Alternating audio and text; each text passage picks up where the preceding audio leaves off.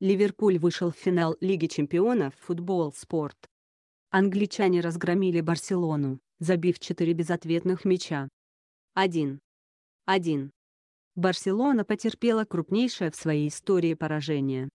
Ответный матч полуфинала Лиги чемпионов прошел на легендарном Энфилде, который встретил свою команду многотысячным пением. Ливерпуль с первых же минут пошел в атаку и уже в дебюте забил не без помощи защитников Барселоны, отличился нападающий Дивакариги. Во втором тайме дубль оформил вышедший на замену полузащитник Жоржиню Вейналгдом, а прикончил синий-гранатовых Сету Джариги, который забил после детской ошибки игроков Барсы при розыгрыше углового. 4 двоеточие 0, счет в этой встрече, 4 к 3, счет в двухматчевом противостоянии этих команд. Для каталонского клуба это поражение стало крупнейшим в истории. 2. 2. В первой встрече каталонский клуб разгромил англичан.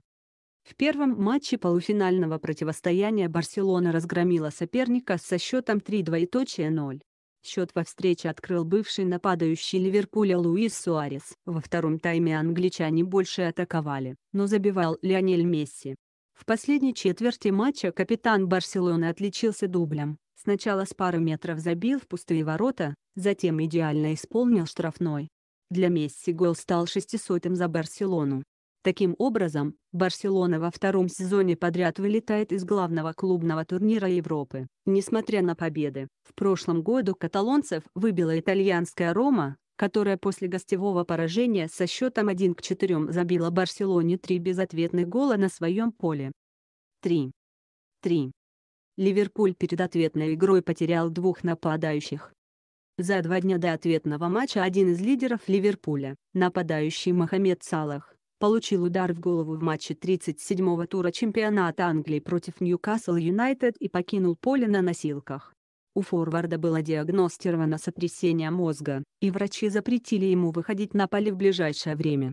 Главный тренер Ливерпуля Урген Клоп перед матчем заявил, что потери для команды существенно, но выигрывать все-таки надо.